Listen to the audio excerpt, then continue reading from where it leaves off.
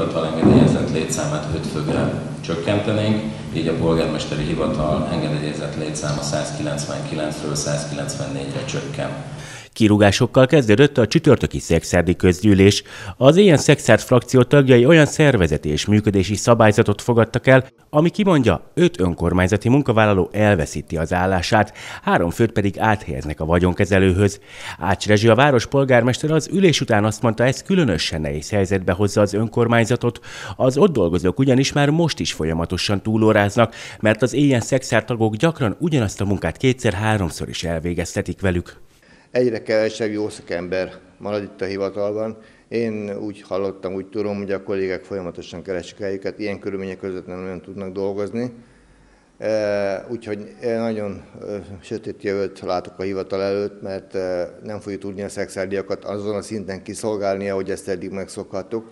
Emberi sorsokról, emberi kérdésekről is van szó, ezért méltatlan az, hogy eh, még tegnap a közgyűlés előtt kettő órával, másfél órával is kaptunk ezzel kapcsolatban anyagot. Ez egyébként rendszeres lett azóta, hogy az ilyen szexárt frakció többségbe került. Ács Rezső, a város polgármester azt mondja, gyakorlattá vált, hogy az előterjesztések átolvasására nincs elég idejük a közgyűlés kormánypárti tagjainak, mert túl későn kapják meg azokat.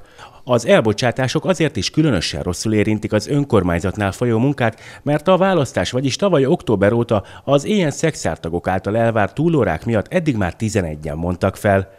A közgyűlésen napirenden volt az önkormányzat és a cégei könyvvizsgálói feladatainak ellátása is, ezért a munkáért mostantól közel másfélszer annyit fizet a város, mint korábban.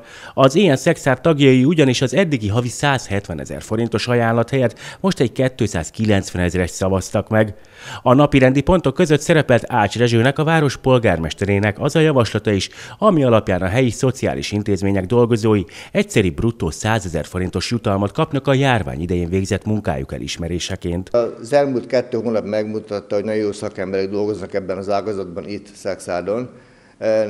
Nem munkának, hanem hivatásnak veszik a munkájukat tulajdonképpen, tehát nem foglalkoznak azzal, hogy hétvége van, hétköznap van, munkaidő van, munkaidőn túl vannak. Egy a dolog, van egy feladat, azt el kell látni, és a legjobb szakmai tudásuk szerint meg kell oldani. Én büszke vagyok rájuk, szeretném megköszönni nekik valamennyi szexuális nevében, különösen az idősebbek nevében azt a munkát, amelyet kifejtettek. A közgyűlési döntésekről szerettük volna megkérdezni Bomba Gábort is, az ilyen szexárt frakció vezetőjét.